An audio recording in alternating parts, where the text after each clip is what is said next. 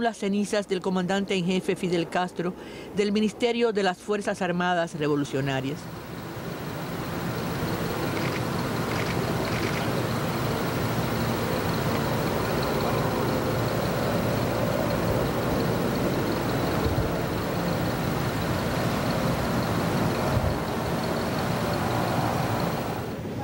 El presidente cubano Raúl Castro Ruz, el hermano querido, toda su familia acompañó la salida de los restos que en el abrigo de una bandera cubana, en una caja de cedro, iniciaron el trayecto sobre las huellas que dejó la Caravana de la Libertad en 1959.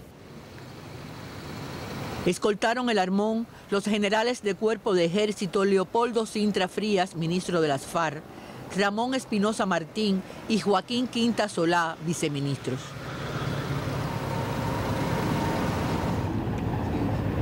La Habana conmovida, por momentos en silencio, por momentos enardecida, repetía el nombre de Fidel e intentaba retener para siempre la histórica escena. Despedía de diversas maneras a su presidente guerrillero en su viaje hacia Santiago de Cuba.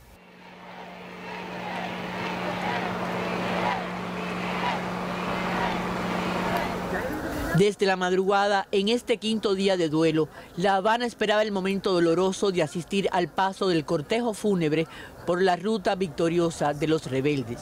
Bueno, estamos aquí como parte del pueblo cubano para ratificar una vez más que la obra del comandante continúa, los jóvenes y las nuevas generaciones. Por eso estamos aquí. No se va. Y él está aquí, está entre nosotros, ahora mismo está aquí. Ya lo estamos despidiendo, pero para adelante y con sus ideas tenemos que seguir adelante. Es Cuba y, no, y no- en ninguna otra parte del mundo pasan estas cosas, así que todo un pueblo vaya a despedir a su presidente a la eternidad, porque no se ha ido, está aquí en, en nuestros corazones, está en Cuba, está aquí en La Habana, en Santiago de Cuba, en todo Cuba. Es importante pensar en eso. me dio la posibilidad de ser lo que soy hoy.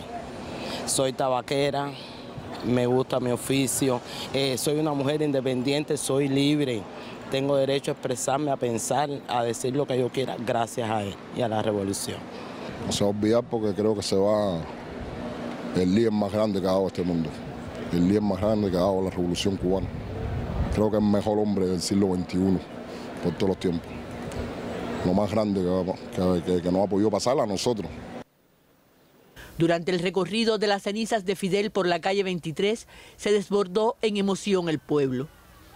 Despidió con dolor la capital a su comandante en jefe, que invicto y triunfante como en el 59, regresa a Santiago de Cuba, muy cerca de la montaña, para junto a Martí, a Fran, a los generales mambises y a sus compañeros del ejército rebelde, continuar con su ejemplo combatiendo por Cuba. Gladys Rubio, Sistema Informativo de la Televisión Cubana.